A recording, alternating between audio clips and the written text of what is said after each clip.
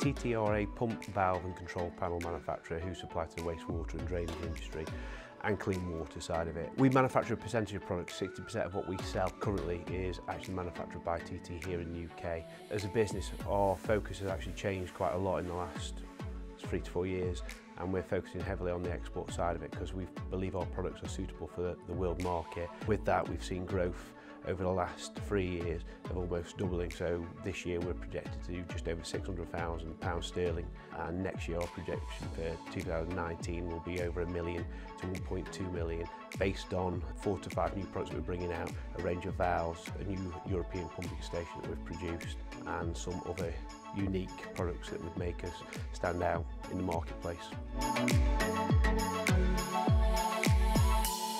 hydraulic supply company, but more than just supply hydraulics. We'll sit down, we'll talk to customers, we'll have customers come to us with a problem which we turn into a solution and we give them a tailor-made solution at the end of the day. We probably punch well above our weight. We're a small business, we're only seven strong, but we always think and play really big, as is evidenced by our global reach. We've got a new website in build at the moment, which we're very excited about. It looks very different to our current site. It's internationalised in its design as well. We'll have 17 different languages on there. We've got a new brand in play as well now, reinforcing the fact that we really are power the world. We've sold to customers in 130 countries worldwide. They between them span 24 different market sectors and industries.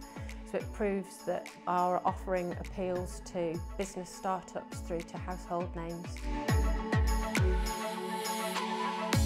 Yeah, me and my wife Lindsay are Forest Gin, basically. We started off messing around in 2014 as home distillers and January 2015 we put the first bottles on sale and we were thankfully people liked it and it was taken up by the likes of Harvey Nichols, Heston Blumenthal's restaurant, the Chester Grosvenor. Finally had a product that tasted pretty good so we came up with bottle design, packaging, how to sell it, that kind of thing. And then in 2016, we awarded two separate double gold medals at the San Francisco World Spirit Awards, which is kind of the Oscars for gin. And no other gin had ever achieved this. And it got us international press. It got bartenders contacting us from South America, from China, from Australia. It was so we said, well, why don't we try exporting it?